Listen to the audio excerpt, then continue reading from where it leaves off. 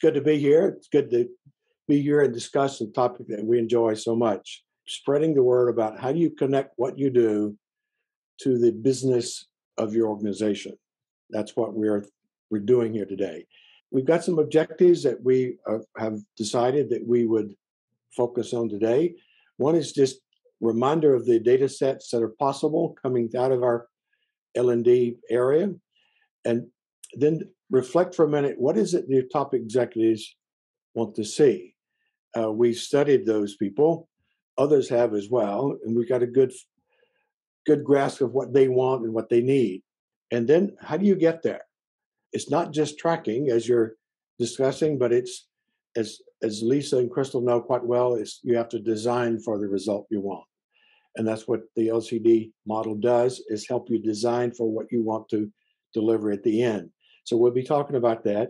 And more specifically, thinking about how LCD can focus on um, delivering those results and capturing those results.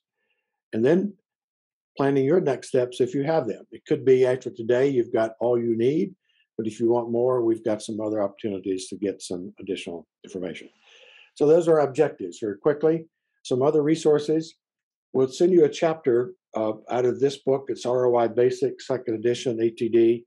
It, it, basically covers what I'm covering today, the introduction to this.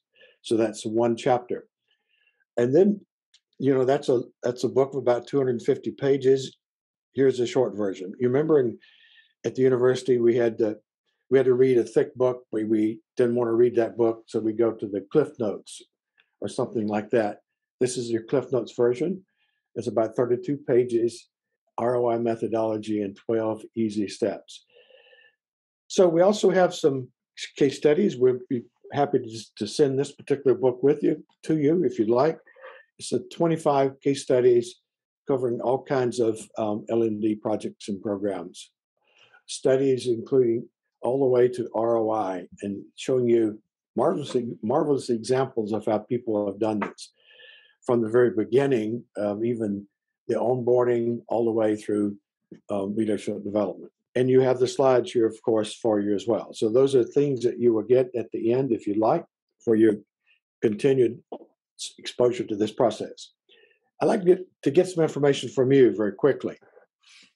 Uh, tell us if you think that these statements are mostly true or mostly false. So Andy's going to launch a poll here.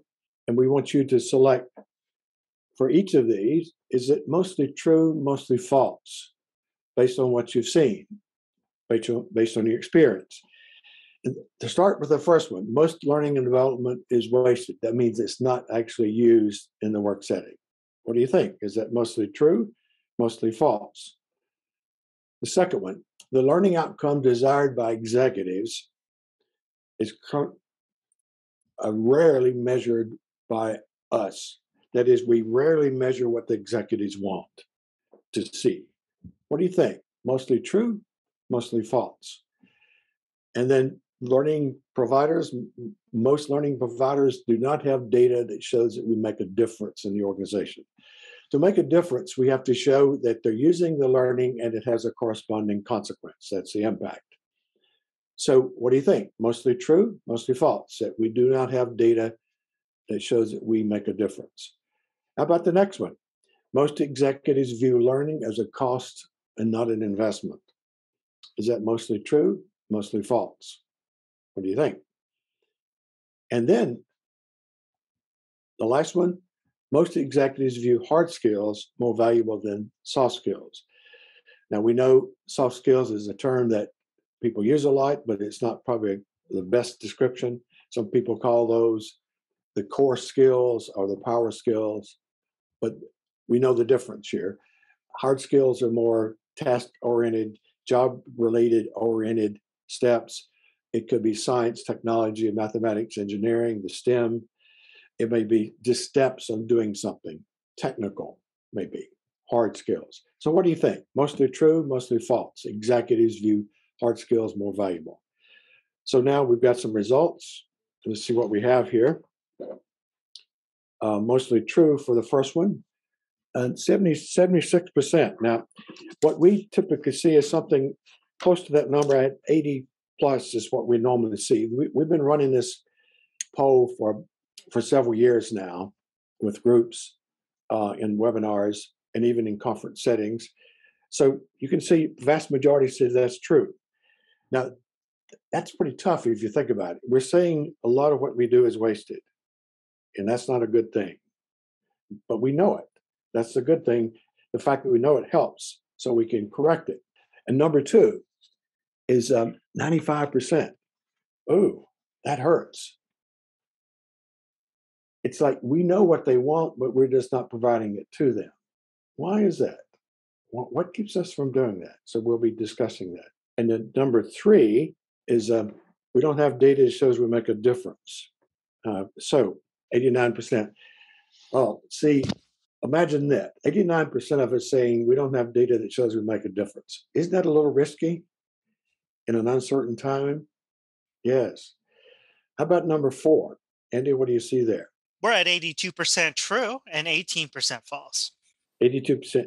You know, we normally get a higher rating there. Right? It's usually around 95%. You see, we know what happens when executives see something as a cost.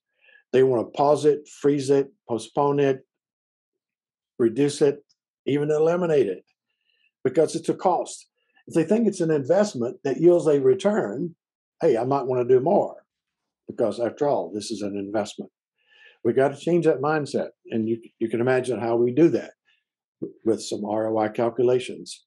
Calculating the same way an executive is going to calculate the ROI of a capital expenditure. That's what you got to do. And you can do that. And then finally, the last one, Andy, what do we have there? We're at 84% true and 16% and, false. And yes, and you know, we know, I think you know that those power skills, those soft skills, really are more important. We think they are. And it's interesting because executives will admit that what makes great organizations, the most admired organizations, the most innovative organizations, the most sustainable organizations, and the great places to work, all of that comes from soft skills, usually in the leadership, communications, team building, those kinds of things. So Yet, if they see hard skills as more valuable, that means that we are already at a disadvantage because they their their impression is that they don't work. Maybe.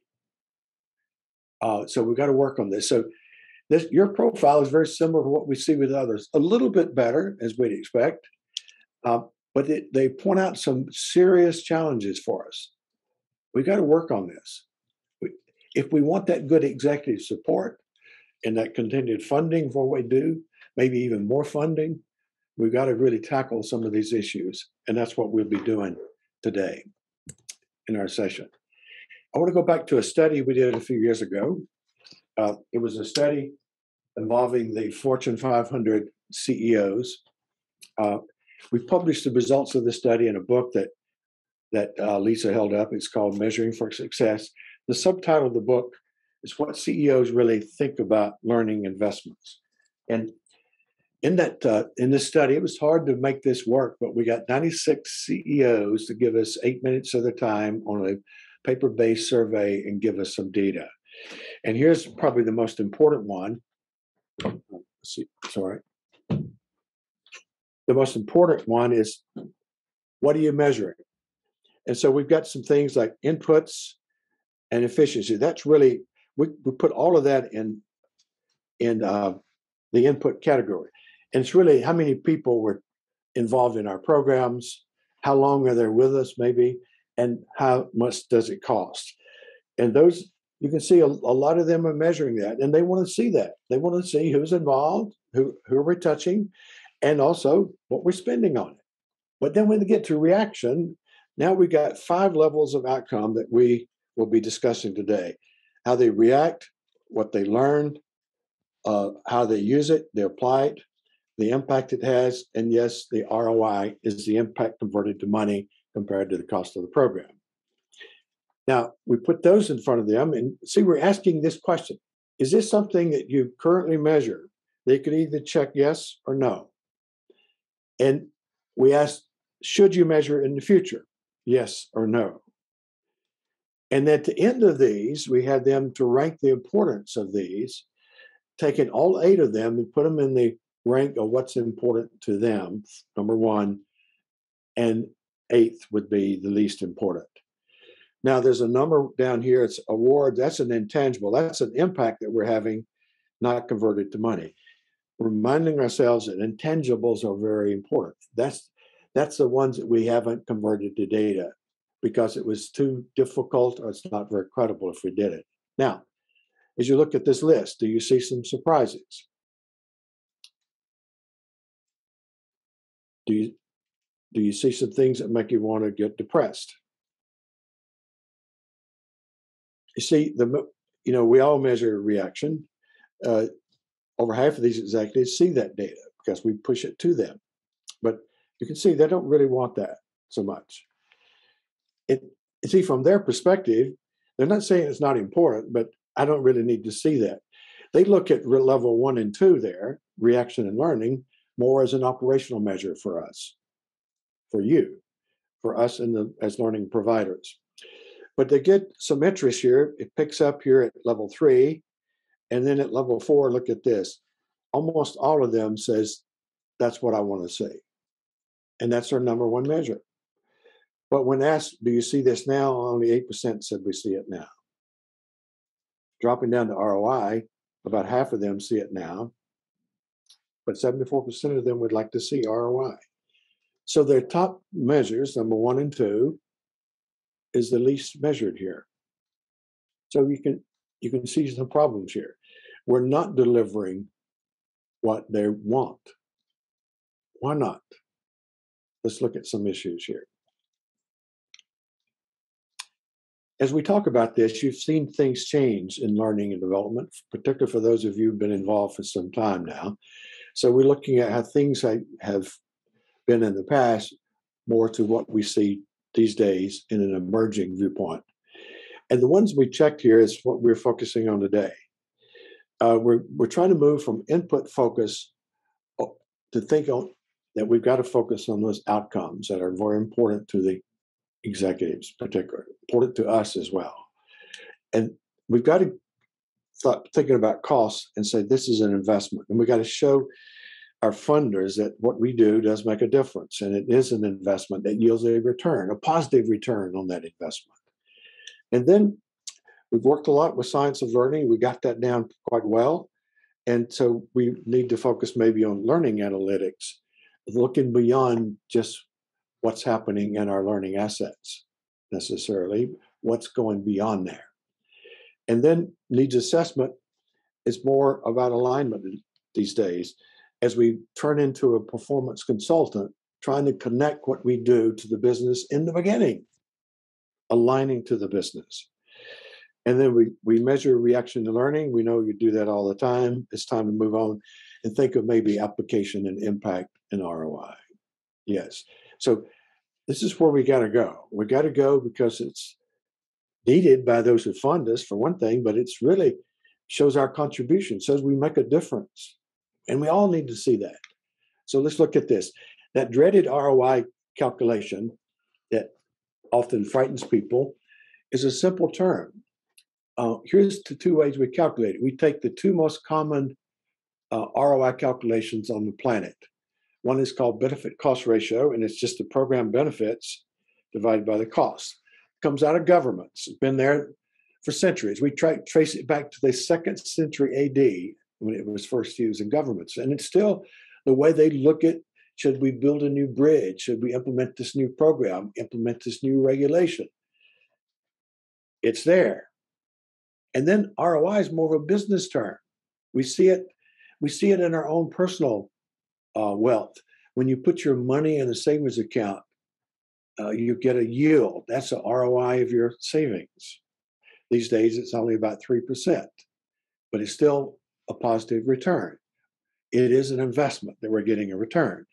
That has its origins in business, and that still dates back about 400 years. So the point is, this is these are two measures that have been around for a long time. Now they've moved into our area. Our area is the non-capital. We early use of ROI 100 years ago was all capital investments, buildings and tools, equipment. Now it's moved to the non capital. So that's where we are. So now, what I'd like to do is to think about your own work here. Where are you with ROI? Another poll. What's your experience with it? No experience at all is one option. You can, by, by the way, select all. It's been suggested, but no action has been taken. I've attempted it. I've conducted an ROI study, and I wish ROI would go away. What do you think? Check any or all. Let's see where we are here. We just have one of you says that we, we wish it would go away. We understand that. Um, so, but a lot of you with no experience, it looks like the number one is that you've attempted it. So good. We've got we've got a great group here. We do have some five people here. It looks like have actually conducted ROI studies. That's good. Uh, please share your some of your experiences with the audience in the chat here as we go through this presentation, um, and maybe chime in with us when we get to our Q and A if we could. So it's something we really haven't embraced that much. I think is what we're saying. And so let's look at some possibilities here as we look at how we can tackle this.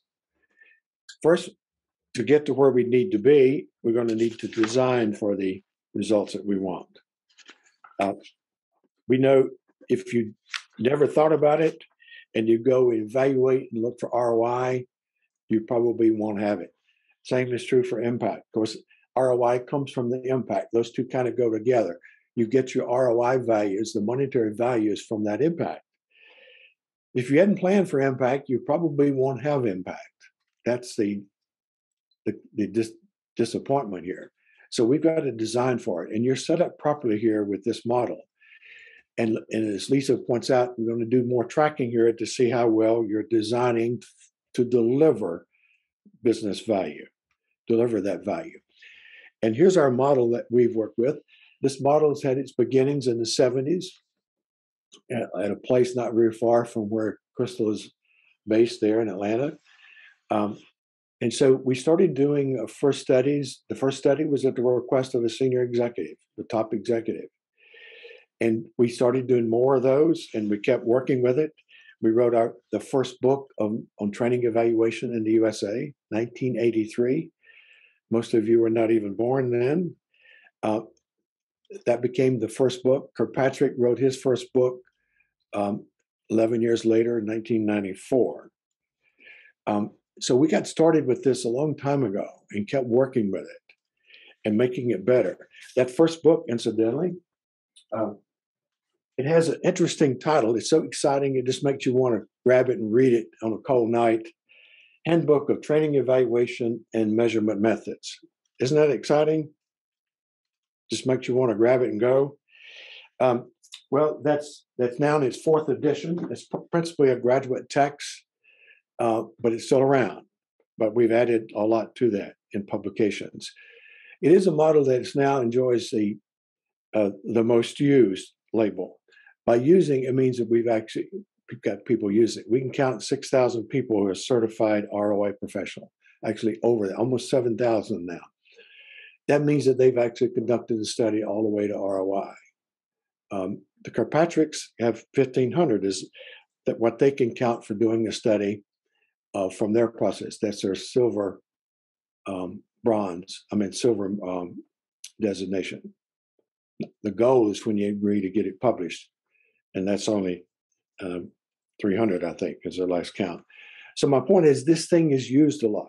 It's used a lot because we make it user friendly, CEO and CFO friendly, but also research friendly.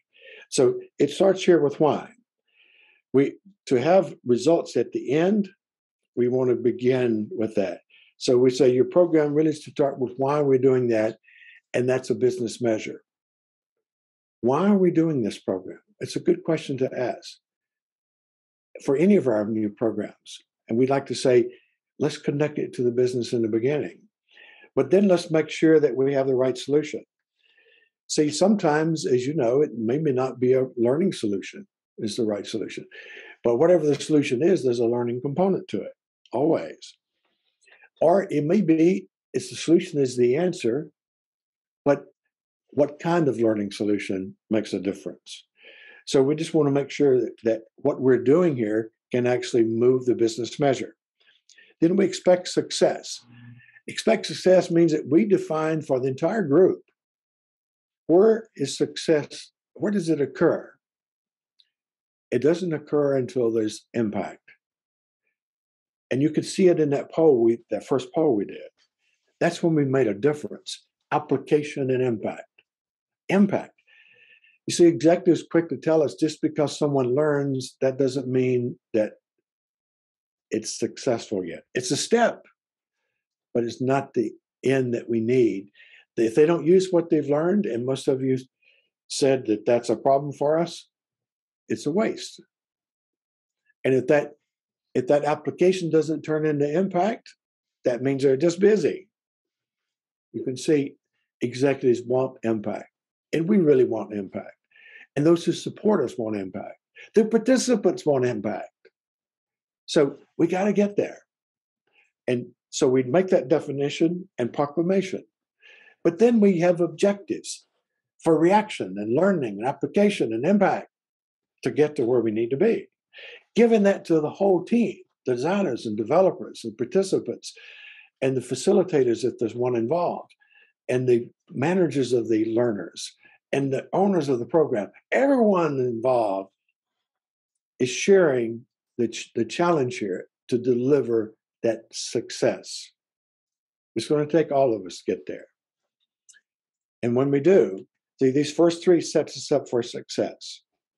We implement the program, then we make it matter.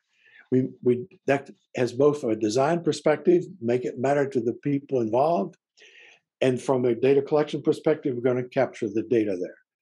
That's not only capturing who's in the program, which we call level zero, but also our reaction and learning, and those two integrate with each other. And then we got to make it stick. Again, designing for it, but then capturing it. Did they use it? Was there an impact? Tracking those numbers. That gets us the impact. If you think of it this way, very quickly, we start with a hypothesis here. Hey, this program is going to drive this business measure. These two steps are making sure we get there. We track the data, and this measurement here says that's evidence we made a difference but you need proof these days. You can't say we've had sales training and we, and we looked at the sales and they've increased 10%, so we're going to claim that. Uh, you'd be laughed out of the boardroom on that one because there's so many other things driving that. You got to sort out the effects of it. And that's what you see here. Make it credible by isolating the effects of the program. Then that gets us to impact. If we're going to stop at impact, we got to at least do that. But then if you want to go to ROI, this gets us to the most credible ROI, a, most credible value here. That is, we want to make sure we're conservative in whatever number we use or whatever assumptions we're making here. And then we bring in the cost. The two go together to give you ROI. For to be credible with costs, we've got direct and indirect costs. To be credible with ROI, we're using the two most common ROI measures on the planet and then we know there's some impacts that we have are very important is the intangibles. We're going to leave them um, there. They're going to be a data set separately, uh, but we got to make sure they're connected to our program. So now I've got a story to tell. Storytelling is an important part of this. Storytelling. You've got six types of data reaction, learning, application, impact, ROI, and intangibles. And you use the numbers and narratives the stories will be the narratives you capture as they react, as they learn, as they apply, and as they have an impact. And then we use that to optimize the results. Make it better. Make it better next time. If it's negative and we want it to be positive, we improve it so it's positive. Optimizing. By optimizing, we stand a good chance of getting more funding. We call this black box thinking, this coming from the airlines um, as they take that black box after an airline crash, determine what caused the crash, and they use that to make changes so it doesn't happen again. So we want that kind of thinking, process improvement all the way through the process. So there you have it. We won't spend a lot of time on this. We will look at some key issues here. Um, now you're thinking, if I did this for every program, I'd be dead. And I would agree. You want to be very selective here. Here's our recommended percentages. If you've got a, a learning um, department or function and you've got maybe 100 programs, which wouldn't be unusual, uh, we'd say, hey, every one of them should be measured at reaction level, most of them at, at uh, learning. And we suggest about 30% of them pushed up to level three to make sure they're using it. That we could use sampling there, even to make that more affordable. And then a third of those up to impact connected to the business. There you have to sort out the effects of your program on the data. And then half of those onto ROI. Now we do benchmarking with our users. We got lots of users, as I mentioned. Uh, our re- most recent benchmarking, you can see the percentages. They're beating the the recommended numbers. This is almost too high in my mind. We have to be careful that we don't create uh, paralysis by analysis here, by evaluating too much.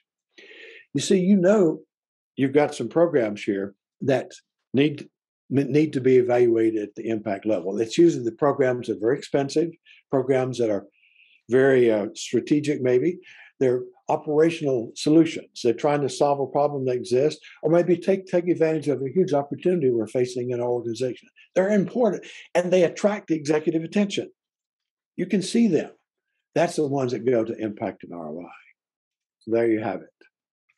Now, I just want to make a couple of points here. Starting with why means that we we identify the business measure or measures we want to change. Uh, we think first, is it a problem we're solving or is it an opportunity we're pursuing? So it could be we got a problem now with turnover and we've got a program that we're implementing to, to solve that problem. Or it could be we don't have any sexual harassment complaints and we don't want any. We're putting a program in place to prevent it. See, it's not a problem, it's an opportunity to prevent that problem from occurring but we work with specific measures. In those two cases, turnover and sexual harassment complaints. Those are the business measures. There are business measures out there everywhere. We're going to always do that. Here's a way to see how alignment occurs. It's a handy way for, for visualize what's going on here. From any learning uh, asset that you want to value, evaluate, or cluster of assets, you are thinking, hey, this is the value chain that we just talked about. If I'm collecting data to see if I um, have this uh, successful here, I'm actually putting objectives in. The objectives de- describe the kind of data I should be collecting, how much is needed for success, the minimum level of success. So the objectives drive the data that we need to collect here. But the objectives come from more needs assessment. And it really starts here. They align with these levels. The first one is payoff need. Is there a need for this to be to deliver more value than it's costing? More monetary value. You're preventing more costs than you're costing for the program. I'd say most executives would say, well, yes, who wouldn't want that? But sometimes they're okay with that, not having that requirement because they've got some intangibles that they want to solve, or we got a compliance issue, or this is absolutely necessary for our business. We got to do it. So my point is, just thinking that usually gets us to say yes, and we set an ROI objective. But the payoff, visual, visualizing the the value of this program leads us quickly to the business need. That's a business need we want to start with, uh, defining those specific business measures, and then we we take some steps to understand the what do we need to do different in our system to address, address that business need. That's our performance need. That's the solution. And it goes to, that leads into learning needs to learn what to do, how, how to make that performance occur. And then we have preferences. How should we see this? You see, all of those are translating right through the process over to the evaluation categories. So a program starts here, goes through our needs assessments at different levels now, and then we design, develop, and deliver that program, and we measure success. So the beginning of the process. Here's our first three steps in our model. Start with why would the business need? Make sure we have the right solution here, and we have expect success with the ex- executives. So that's a way to visualize this. Making sure it's the right solution often involves asking some questions, maybe doing a little of analysis to make sure we understand what do we need to do. You do that now in a lot of your needs assessment. So you're doing these kinds of things, maybe looking at records, having a discussion, referencing a case study, says, look, when you put this kind of program in place, you normally get this kind of improvement coming out of it. So we're using a series of steps here to just uh, make sure, or at least validate in the minds of the people involved that yes, this is the right solution. Sometimes it's just having them to say, I think I can drive that business measure with this. That's maybe all you need. Making sure you have the right solution. Expect success. That's the third step. That that's the defining the success that we need, and that's impact. Setting those objectives at multiple levels, and then giving those objectives to others. So we change in their responsibilities a little bit. Adding to that, say, we need you to help us design this program to deliver the success, and that is now impact, not just learning. I know a lot of you are in um, instructional system design, and when we say your your work is not done when you're you've got learning coming through the program, for some of you that hurts. You said that's that should be what we do. That should be our success. But you can see from an executive perspective, if they don't use what you've learned, then you've wasted your time. So it forces us to really design beyond what's occurring in our learning asset. And you do that now. You just got to make sure it's working for us in the right way.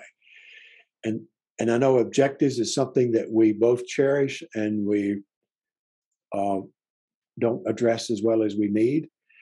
And here's some rules.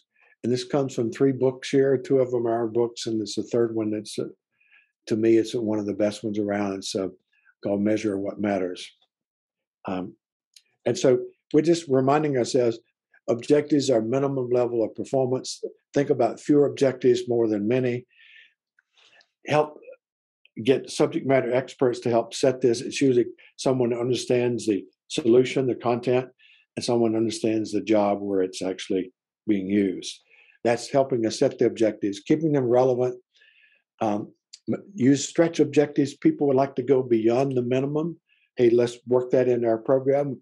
Stretch those those people, but let's move down to number eight. Let's don't let's make sure it's not a performance review recommendation there.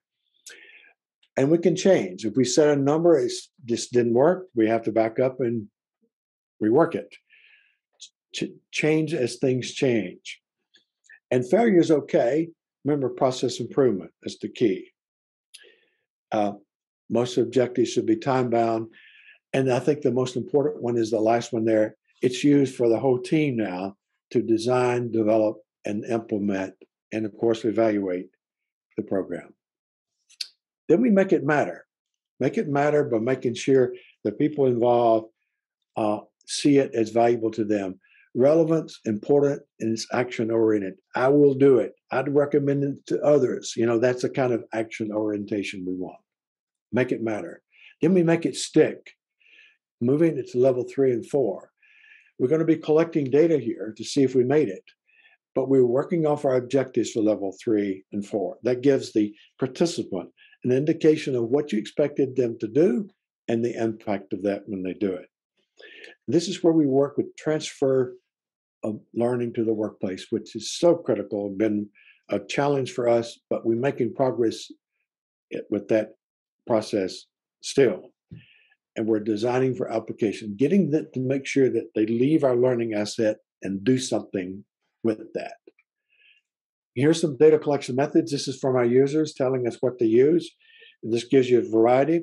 You know, we all know questionnaires and surveys, that's still our dominant method, but we we go check databases, particularly level four. That's good, action plans, building that into our process, maybe a performance contract. They're very close in their definitions. But we also use observations, tests, interviews, and focus groups. So we're changing a little bit of the dynamics of data collection. And then we make it credible. Now, here's an interesting point. Um, these are these are credibility is so critical here. We think we need when we're presenting this, we're probably going to have an executive audience. they will get this data. This is the data they love. Remember, impact and ROI. It's a number one and number two measure. We got to make sure it's credible.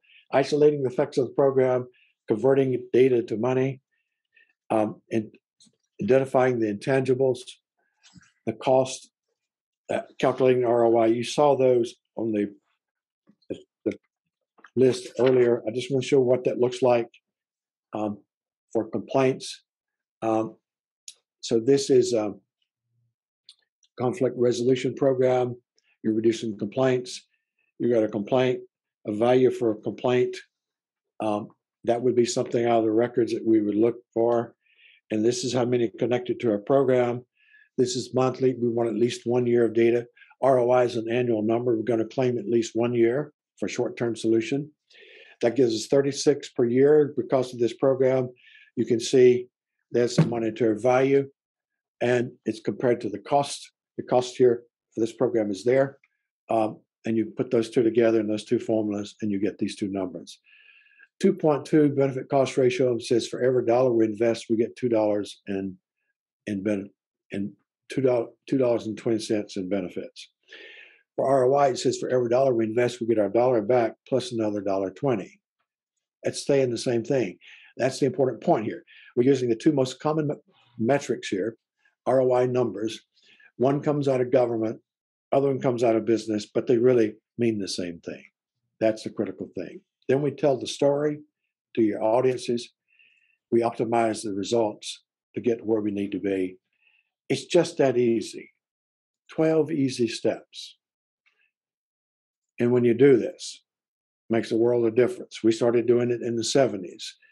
And it's our own team that got excited about this, and we do more of them. And we did, we would do them, for, and got executives excited about it. They wanted to see more of it. Um, you can defend budgets. You can align your projects to the business, show the contribution, get that respect that we need, build our own team morale, improve support. We often don't have the support we need. And so we make it better too. That's process improvement. We think that's the number one reason to do this. These days, the number one reason we get involved in this is saving my budget, protecting my budget, approving my budget. I, and then get that seat at the table if we want that. And here's my advice before we go into some Q&A. Um, when it comes to delivering results from your programs, uh, hope is not a strategy. Luck is not a factor. Doing nothing is not an option these days. Things have changed, in particular in our accountability. Executives are clear with what they want. Change is inevitable, but the progress we make is optional for us. So we really have to do it. The worst thing we can do is to wait for an executive to ask for this. And we've heard so many people say, my executives have never asked for this, so I'm not going down this path. And we say, well, if you wait till they do, here's what happens to you. And we get to see this too often. And when the request comes, at first it comes with a pretty short time frame. You can't say, well, I got to go out and understand how this works and and we got to try it a little bit and we got to make sure it's going to deliver. Give me, you know, give me about six months. No, no. They want something quickly if they've asked for it. So, short timeline. The second thing is you're now defending, you're defensive. You want to be on the offense. You want to drive this. You want to drive your own bus here, your evaluation bus. And third, ROI is now on their agenda. You want to keep it on your agenda. You control this. The worst thing you can do is as an executive, how should I evaluate this program? They don't know, but they know what kind of data they like. So we got to do something. Waiting for them to show up and ask that question is too late. So here's some resources that'll help you get there, as we just talked about in the beginning. We'd like to send 25 case studies, if you like, here in this book. Uh, that's from people who come through our certification. I want to talk about that in a minute. Um, this is, uh, again, our ATD publication, second edition, opening chapter we'll send to you. And then our application guide is a short version of that. So there you have it. If you want to know more, we've given you about 40 minutes worth here. Uh, there's a one day boot camp. Looks like that's just happened. We got one coming up in Spanish, but we got we keep these things going regularly. So that might be a way for you. But we've also teamed up with Lisa and Crystal on on suggesting something here.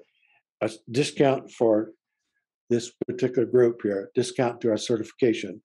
Certification involves a deep dive into this, learning how to do this, and actually doing an ROI study to become a certified ROI professional.